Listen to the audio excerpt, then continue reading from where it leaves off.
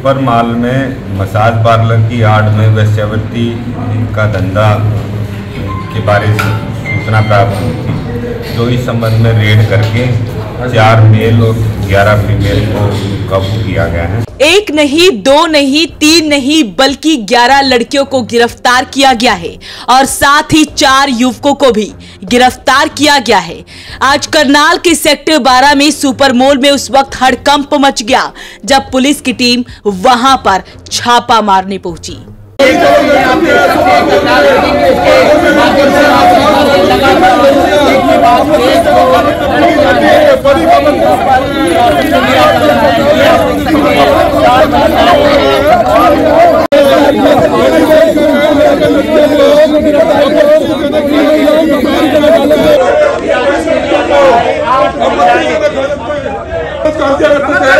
बड़ी खबर देख सकते बड़ी खबर देख सकते किस तरह से बड़ी संख्या में पार्लर में लड़कियाँ पकड़ी गई हैं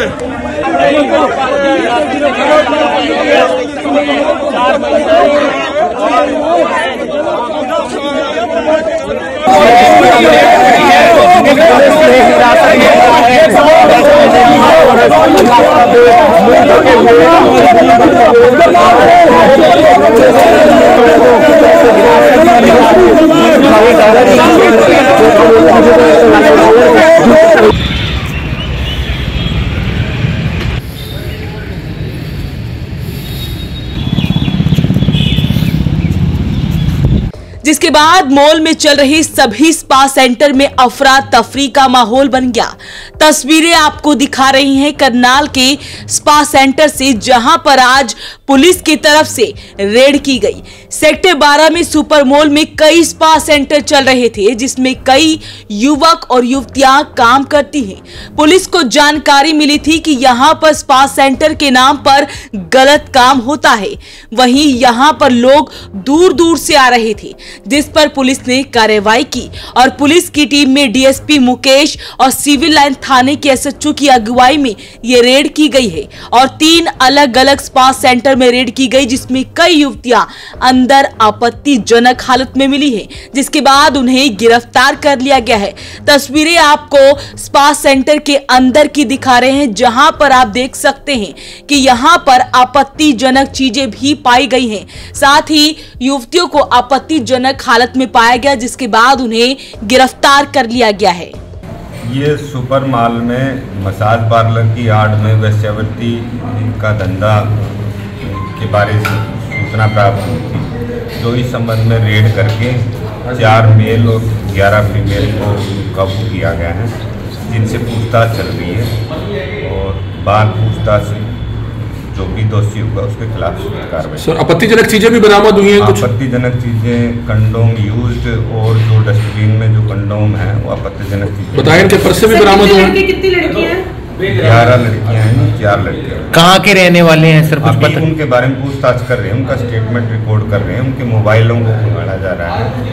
उनसे पूछताछ की जा रही है। तो शहर में और जगह भी सर चल रहे हैं स्पा सेंटर जहाँ के बारे में भी सूचना प्राप्त होगी वहीं के बारे में सख्त कार्रवाई की जाएगी। सर, पुलिस लगातार जो है ऐसी रेड करती है। पहले भी सुपर मॉल में रेडें हो चुकी हैं, लेकिन फिर भी लगातार ऐसे स्पा सेंटर किस तरीके से चल रहे हैं, सर?